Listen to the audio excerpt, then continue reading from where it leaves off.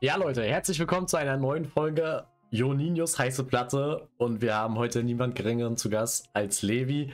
Ähm, viele kennen von euch Levi Finn 02 auf Twitch. Einer unserer Aushängeschilder von Hansa eFootball. Absolute Maschine im Gameplay. Ähm, der wird mich heute auf jeden Fall ja, gut zerstören, denke ich. Markus hat es beim letzten Mal schon gemacht, weil es echt nicht einfach ist, nebenbei die Fragen zu stellen und auch noch einigermaßen gut FIFA zu spielen. Ähm, von daher, wir gehen jetzt rein. Viel Spaß mit dem Video. Wenn euch das Format gefällt, dann lasst gerne ein Like da. Abonniert auf jeden Fall diesen Kanal und aktiviert die Glocke. Und ähm, haut immer gerne in die Kommentare, welche Streamer demnächst hier sein sollen auf der heißen Platte, welche Streamer in Frage kommen. Wenn ihr auch Fragen, Vorschläge oder irgendwie sowas habt, auch gerne in die Kommis. Und jetzt gehen wir rein. Let's go. Viel Spaß mit dem Video. Okay, Leute, hier sind wir. Wir haben Levi eingeladen. Levi, herzlich willkommen. Grüß dich. Moin, moin, moin, danke für die Einladung, Jonas. Vielen, vielen Dank. Sehr gerne, sehr gerne. Ähm, ich habe mir gedacht, am Anfang ähm, das Hansa E-Football-Team mal so ein bisschen abarbeiten. Das kommt ganz gut. Und ja, da können wir eigentlich dann auch schon äh, direkt zur ersten Frage kommen. Bevor wir aber anfangen, ähm, mit den Gegebenheiten bist du vertraut, ne? Wenn du Tor Plus bist sozusagen, kannst du einmal, wenn du eine Frage nicht beantworten willst, kannst du sagen, ist mir zu heiß, dann musst du nicht drauf antworten hier auf der heißen Platte. Ich auf dem Schirm. Okay, sehr gut. Mach ich, mach ich, mach ich. Okay, dann kommen wir zur Einstiegsfrage. Also Levi spielt hier mit seinem WL-Quali-Team. Er hätte mich auch mit dem Qualifier-Team hier rasieren können, äh, mit den Leihspielern und so. Ähm, aber Einstiegsfrage von Mögo Gaming kommt die, der war nämlich der letzte hier. Ähm, wie stehst du zum Thema Auswandern und kannst du es dir persönlich vorstellen? Auszuwandern? Ja. Oh, ich, man, ich will niemals nie sagen. Ja. Ähm, aber ich wahrscheinlich eher nicht, weil ich glaube, sagen muss, äh, dafür bin ich hier mit Freunde, mit wie auch immer, allem zu sehr verwurzelt, würde ich einfach sagen. Ja, schöne ja. Länder auf jeden Fall. Mhm. Ähm, ich will auch unbedingt mal wahrscheinlich irgendwie in die USA oder so, was auch immer. Ja. Aber auswandern könnte ich mir, könnte ich mir tatsächlich nicht vorstellen. Ja, kann, kann ich, also ist bei mir, ist bei mir ähnlich so, weil es auch so Freunde und Familie und so angeht. Gerade Eltern Ja. und so ist bei mir auch ein Thema. Genau, eben das Ganze Mhm. drumherum und so. Mhm. Das wäre mir dann schon wichtiger. Okay, dann gibt es ja vielleicht auch Leute, die dich nicht kennen. Dann kannst du ja nochmal sagen, äh, wer bist du, was machst du und wo kommst du eigentlich her? Ich bin äh, Levi Rieck. Ich komme aus Köthen, aus Sachsen-Anhalt. Ja. Ähm, dürfte, dürfen wahrscheinlich eigentlich nicht so viele kennen. Das ist ein kleines Städtchen aus Sachsen-Anhalt eben. Mhm. Wohnst aber in Und- Rostock. Ich wohne in Rostock, genau, seit 2021. Mhm. Ähm, bin ich hergezogen und spiele ja, für Hansa Rostock an der Konsole Boah. und ähm, studiere nebenbei noch. Lehramt auf Sonderpädagogik. Mhm, Okay, nice, nice. Zu mir quasi. Mhm. So ein Studium fordert einen ja auch immer. Was würdest du sagen, ist deine stärkste Eigenschaft? Meine stärkste Eigenschaft. Ähm, Muss jetzt nicht aufs Studium? Jetzt, nee, muss nicht aufs Studium bezogen Genau, sein. einfach generell, ja, ja. Es ist immer schwer, sich selbst einzuschätzen. Ich würde jetzt aber so behaupten, dass ich äh, sehr empathisch bin, also mich ganz gut in Leute hineinversetzen kann und auch eine gute Menschenkenntnis habe, also nicht Ewigkeiten brauche, Mhm. um, um, um Menschen, äh, Menschen einzuschätzen. Ja. Was glaube gerade dann auch, wie gesagt, im Studium, du lernst immer wieder neue Leute halt auch eben kennen, Mhm. auch jetzt im E-Sport und so. Äh, und dann glaube ich, dass ich relativ schnell einschätzen kann, wem ich was anvertrauen kann und wie die Leute so ein bisschen ticken. Ja. Würde ich jetzt denke so sagen. Ja, okay. Kommen wir vielleicht später nochmal drauf zurück. Was würdest du sagen, ist deine schwächste Eigenschaft? Ähm, ich bin sehr ungeduldig. Okay. Ähm, Passt ja dann auch so, passt auch so ein bisschen zu deinem Coach. Ich glaube, der hat das gleiche gesagt. Ja? Naja. ja nee, ich bin, bin schon sehr ungeduldig und ähm, ich habe gerne so ein bisschen über alles so die Handhabe. Also ich gebe ungerne Dinge irgendwie ab. So, ja. also ich muss irgendwie okay. bei allem so ein bisschen, ja, weiß nicht. Ich mache das lieber, alles lieber irgendwie selber, als es so anderen in die Hand zu geben irgendwie. Und das ist manchmal halt auch nicht gut und nervt halt auch ein bisschen meine Mitmenschen, gerade meine Freunde und so. Ja, ja, okay. Okay, interessant. Ähm, dann müssen wir sagen, hast du ein bestimmtes Ziel im Leben, Levi? Ein bestimmtes Ziel tatsächlich jetzt nicht. Ähm, ich glaube, so ein allgemeines, äh, das gibt, denke ich, bei vielen, äh, irgendwie finanzielle Freiheit.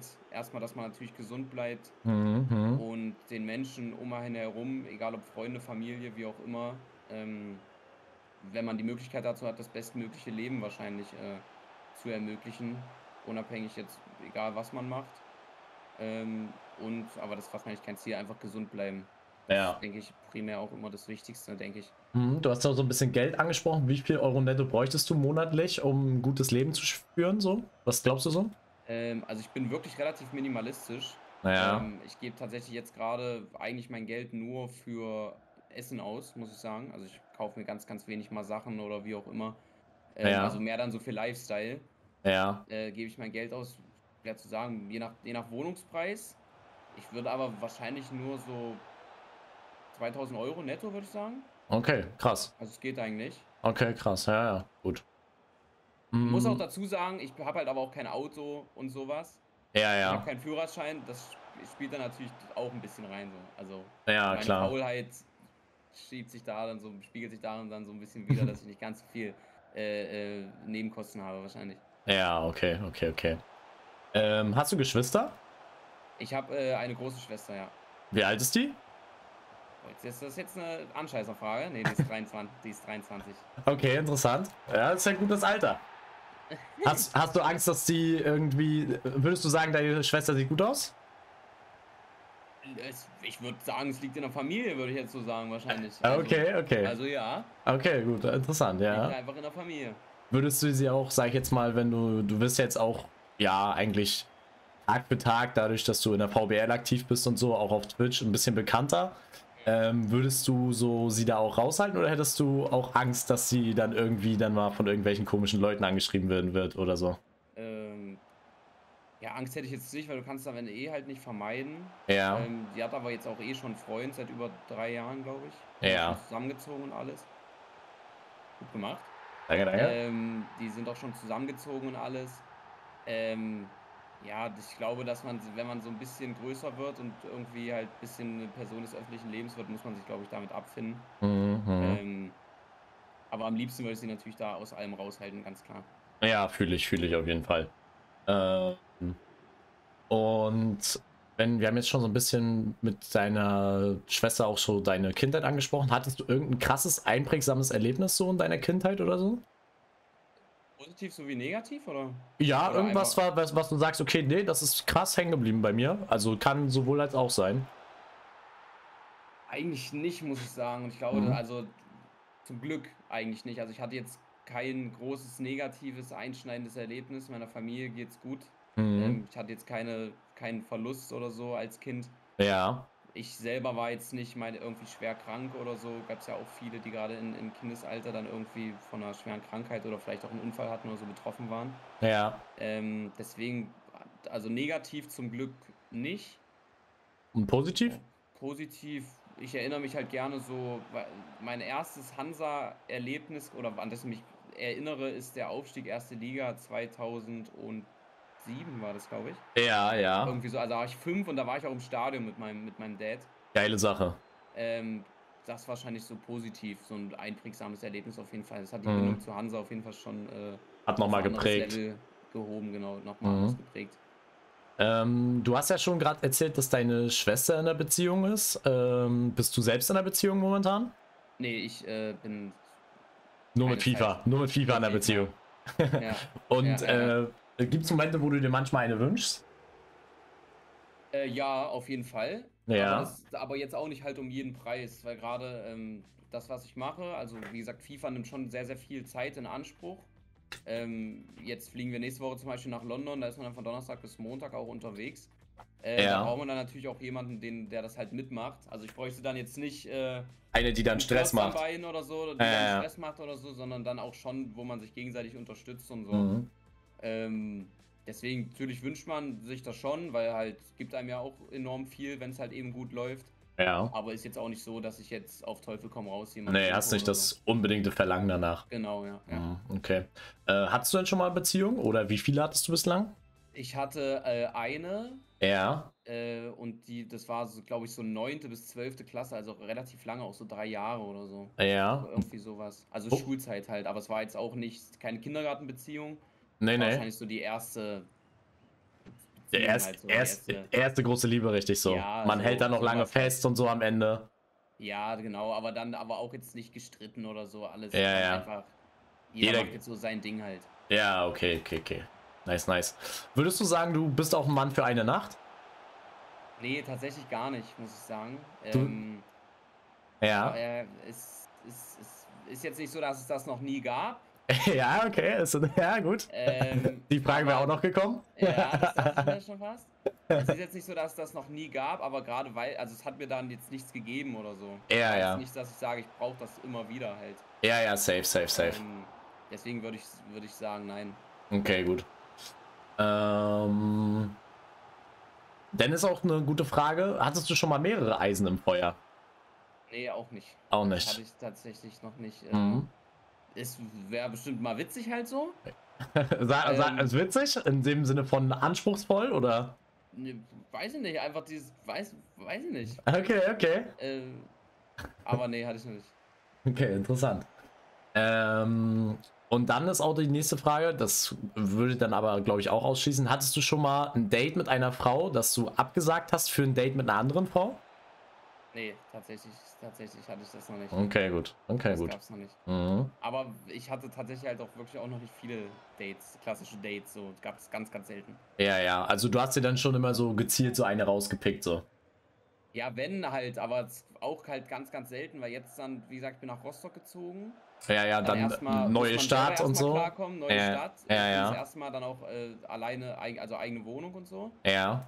Ähm, dann blieb da halt auch nie viel Zeit, dass man sich irgendwie Gedanken macht oder so. Oder generell jemanden kennenlernt halt. Ja. Okay. Ähm, so, ja, eben, deswegen gab es noch nicht so viele Dates in, in dem Sinne. Aber schreibst du so mit ein paar Girls so Auch auf Insta und so? nicht, Gar nicht, gar nicht, okay. Jetzt auch mit blauen Haken und so, das ist ein Mythos, Freunde. Das ist kein Mythos. Also, oder, oder es liegt an mir selber halt, aber mir persönlich bringt es nichts. Ah, Okay, Das krass. Halte Also, also aus meiner Erfahrung heraus bringt der blaue Haken schon, also er, er bringt schon was mit sich. Ja. Also- ich habe eine Theorie aufgestellt. Ja. Gut, der hat ja auch einen blauen Haken. Und Ja. es wurde gesagt, dass der blaue Haken so Der Multi der Multiplikator so mal 3 macht, von den Milch, die du jetzt so hast. Aber Ja. das Ding ist, alle, die in Mathe aufgepasst haben, egal wie hoch der Multiplikator ist, sobald du ihn mit 0 multiplizierst, dann kommt trotzdem 0 raus. Oh ja, gut, aber würdest Und du sagen, bei dir, meine Situation. aber vielleicht ist bei dir auch 0,1 oder so und dann hast du am Ende trotzdem nur 0,3 Chance oder so. Ja, das stimmt. Das stimmt. Aber so sieht es momentan aus. Ja, ist aber eine wilde Theorie, da müssen wir bei Umut nochmal irgendwann nachfragen. ähm, ich schenke dir 50.000 Euro, Levi, was machst du damit? Ähm, netto, ja. Netto, direkt auf der Hand, jetzt, hier und hier und jetzt. Oder sagst PayPal und dann ist die, für die 50k da. Okay, ähm, also ich würde wahrscheinlich erstmal in, in Urlaub machen. Ja. Mit Eltern und Freunden, also wahrscheinlich zweimal. Ähm, und dann aber wirklich so viel oder so wie es geht, äh, das Geld dann anlegen, damit es mehr wird. Also da, Ja. komm, da schließt sich ein bisschen der Kreis zu meinem minimalistisch sein. Mhm. Ähm, ich denke da dann schon an die Zukunft Mhm. und probiere dann irgendwie, dass aus diesen 50.000 irgendwann mal mehr werden halt vielleicht. Okay, ja, interessant. Kommt jetzt vielleicht ein bisschen random, aber ähm, ist es dir peinlich, nackt zu sein? Äh, kommt drauf an, vor wem eigentlich. Okay. Also jetzt so, Also, also auch jetzt vielleicht so, sage ich jetzt mal, vor Leuten, die du jetzt vielleicht nicht so kennst. Also du würdest du, würdest du so, weiß nicht, FKK-Strand oder sowas gehen im Urlaub. FKK-Strand jetzt nicht, aber es ist zum Beispiel, ich glaube tatsächlich, das habe ich bei vielen so beobachtet, so Fußballer oder generell die Sport machen, Ja. also quasi die das gewohnt sind, nach dem Training duschen zu gehen. Ja, Ich safe. beobachte das oftmals, wenn ich im Fitnessstudio bin.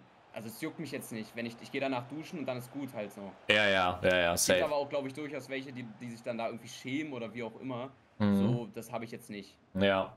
Also muss ich sagen, ist bei mir auch so. Also auch so, wenn früher oder so, ich war nackt oder Physio oder Betreuer oder so oder Betreuerin dann, in dem Sinne kommen dann irgendwie in die Kabine oder so. Juckt mir alles gar nicht, ich stehe da da, wie ich bin. Wie ich- Eben, das kann eine wilde Theorie sein, aber es Ja. kann, schon- also weil man einfach damit so aufgewachsen ist, dass man nach dem Training dann halt duschen geht so. Ja, Oder auch und mit der Gegnermannschaft oder so, die sieht man dann halt mal. Ist ein, ist, halt ein, ist, ist ein guter Call. Ja, man wird ja damit groß eigentlich. Das ist ja nicht Genau. so. Ja, ist ein guter Call, Ja. safe. Ähm, dann, worauf ach, achtest du beim Aussehen einer Frau ganz besonders? so. Mm, Ich achte wirklich besonders auf die Augen. Ja, Ich finde äh, generell die Au- Augen, also finde ich schön, wenn ein Mädchen schöne Augen hat oder wenn die so herausstechen. ja. Ähm, dann achte ich darauf und auf die Zähne, muss ich sagen. Oh ja, schönes Lächeln ist wichtig, Genau, ne? so, also, so, also klar, das, also das Lächeln dann so mit inbegriffen halt. so Ja, ja, so ja, ja. Fühle ich, fühle ich. So, so, da, die zwei Sachen, so, da würde ich wahrscheinlich schon, also die würde ich jetzt nennen. Mhm. Äh, Gibt es ein Körperteil, was du an dir besonders sexy findest?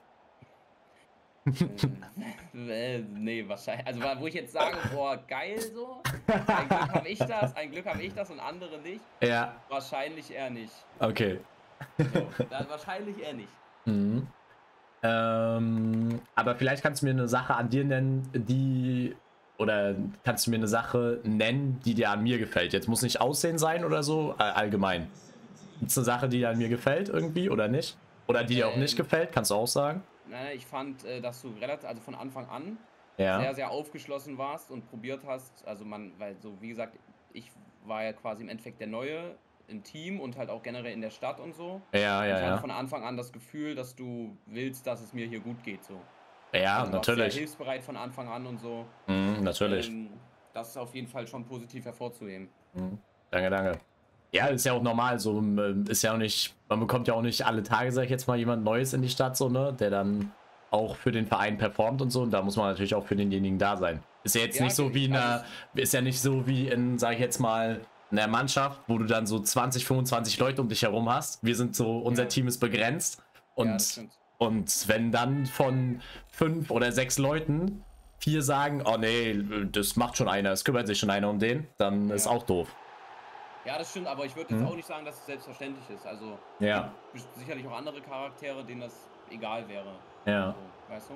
Mhm. Deswegen, das ist schon positiv. Eine Frage habe ich noch, äh, Mhm. kam auch von Zuschauern. Äh, gibt es Leute in der E-Sport-Szene, mit denen du dich überhaupt nicht verstehst? Äh, jetzt nicht, mit denen ich mich überhaupt nicht verstehe, das würde ich nicht sagen. Ja. Es gibt aber durchaus Leute, ohne jetzt natürlich halt Namen zu nennen, wo ich sage, Mhm. mit denen will ich mehr Zeit verbringen, mit denen will ich weniger Zeit verbringen, aber ich glaube, das ja überall im Leben halt so, ne? Es gibt immer Ja. Leute, mit denen man besser zurechtkommt. Es gibt immer Leute, mit denen man weniger zurechtkommt. Es gibt auch sicherlich Leute, die dasselbe jetzt auch über mich sagen würden. Die Ja. sagen, nee, lass mal Levi, so, auf den habe ich jetzt keinen Bock, was Ja. auch völlig in Ordnung ist. Ja, Aber ja, klar, gibt auch. Aber jetzt, ich habe jetzt mit niemandem Streit oder so. Mhm. Das, das gibt's nicht. okay. Ja, Levi, dann sind wir hier schon am Ende angekommen. Die Partie war absolut wild, würde ich sagen. War Wir, haben, wild, wir, ja. konnten, wir konnten uns nicht zum Gameplay äußern, aber 4-6 spricht für sich. Ähm, hat auf jeden Fall mega Bock gemacht. Schöne Tore gefallen auch. Ja, muss ich auch sagen. Wir sind noch ein paar, ein paar Skiller da vorne, haben Ja. wir mal am Start. Ähm, ganz wichtig noch: Der nächste Streamer oder die nächste Streamerin, die hier kommt. Was soll die Einstiegsfrage sein? Aber ich weiß nicht. Ähm, Hm. Du weißt ich nicht, wer kommt. Du weißt nicht, wer kommt. Meine Frage für, die nächste, für den nächsten Streamer oder die nächste Streamerin ist, wenn du nur noch einen Tag zu leben hättest, was müsstest du sagen, das muss ich jetzt auf jeden Fall nochmal machen? Und du kannst machen, was du willst. Egal, ob das mit einer Person ist, egal, ob das ein Erlebnis ist, was auch immer. Was würdest du machen, wenn du nur noch einen Tag zu leben hättest? Ja, ist, ist ein guter Call. Ist ein guter Call. Ist eine interessantes äh, interessante Frage. Gut. Ähm, Levi, an der Stelle, vielen Dank. Hat Einladung. Hat, hat unglaublich Spaß gemacht. Ähm, das soll es heute schon auch wieder gewesen sein, Freunde. Ähm, unglaublich coole Folge, glaube ich. Ihr konntet Levi, glaube ich, noch mal ein bisschen besser kennenlernen. Wenn ihr noch Fragen an ihn habt, ähm, wendet euch gerne an ihn direkt. Ich habe seine ganzen Kanäle, sämtliche Kanäle unten in der Videobeschreibung verlinkt. Da könnt ihr gerne mal vorbeischauen. Auch äh, sehr sympathischer Streamer auf Twitch. Nicht nur, dass er im E-Sport erfolgreich ist, dass ihr euch gameplay-technisch was abschauen könnt, sondern ähm, wie ihr heute festgestellt habt, auch ein sehr cooler und guter Mensch. Und ja, Dankeschön. äh, Levi, dir gehören die abschließenden Worte. Lasst hier auf jeden Fall gerne ein Follow da, ähm, ein Like auf jeden Fall auf das Video, ganz, ganz wichtig. Ähm, und Jonas, danke schön für die Einladung. Sehr gerne. Und ähm, ich hoffe, du ziehst das Format weiter durch, weil ich finde das echt cool, muss ich sagen. Jo, ähm, ich bin gespannt, wer die nächsten sind und wen wir hier noch so rankriegen. Und ja, ich hoffe, das Video hat euch gefallen, Freunde. Macht's gut. Haut rein. Ciao, ciao.